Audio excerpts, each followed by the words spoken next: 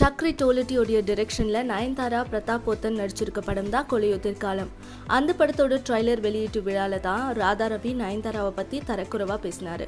அதை கேட்டு பொங்கி எழுந்த விக்னேஷ் சிவன் கொலையுதிர் காலம் படம் கைவிடப்பட்ட படம் அப்படின்னு ட்வீட் பண்ணார்.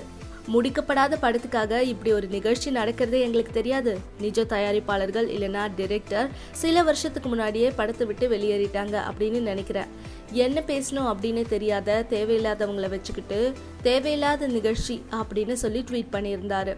விக்னேஷ் சிவன் ட்வீட்னால கொலையுதிர் காலம் படத்தை வாங்குற டிஸ்ட்ரிபியூட்டர்ஸ் இப்போ வேண்டான்னு சொல்லிட்டாங்களாம் அது மட்டும் இல்லாம படத்தோட டிஜிட்டல் உரிமையை வாங்க ஆர்வம் காட்டின நிறுவனமும் இப்போ வேணான்னு சொல்லிடுச்சான் நயன்தாராவோட காதலரான விக்னேஷ் சிவன் போட்ட ஒரே ஒரு ட்வீட்டால கொலையுதிர் காலம் படத்துக்கு நஷ்டம் ஏற்பட்டிருக்கு. இதனால விக்னேஷ் சிவன் மீது வழக்கு தொடர படத்தோட டீம் ஆலோசனை பண்ணிட்டு வர்றதா நியூஸ் வெளியாயிருக்கு. ஸோ கொலையுதிர் காலம் படம் பிளான் பண்ணபடி வெளிவருமா? இல்லை விக்னேஷ் சிவன் மீது கேஸ் ஃபைல் பண்ணுவாங்களா? அப்படின்றதெல்லாம் நம்ம வெயிட் பண்ணி தெரிஞ்சுக்கலாம்.